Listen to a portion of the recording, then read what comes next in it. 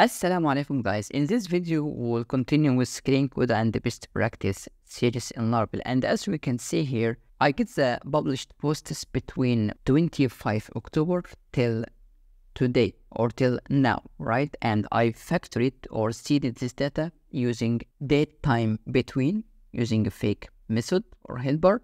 And here is the syntax. It starts with minus 30 years, but I say start from one week until today. And here is the data. If I sort them, start with here today and the range starting with 22, seven days, right? And here, as I said, I get the published at between last or within last three days. And if I back and send a request here, I can see 25, right? 28. And let's select only published at. So I will say published at and ID must be an array to make it more clear. And if I back and check again, I have here 25, 28, which is today, 26, right?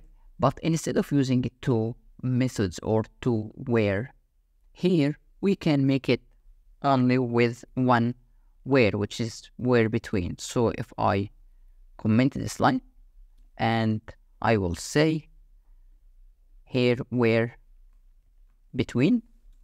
And as you can see the column and the array range here. So I will say published at and instead of operator I will say 24 10 25 and the maximum will be now.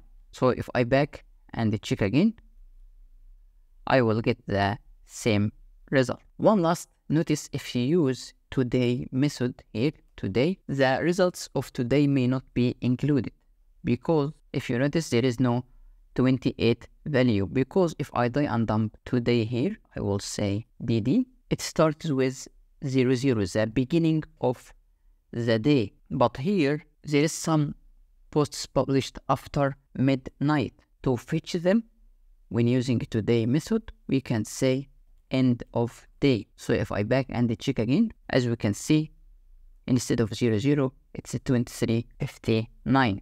Now I will remove the DD and send the request again. As we can see now, 28 is included. So very quickly how to get data between two ranges for dates. If you find this useful, support me by clicking on like, share and subscribe. See you next videos.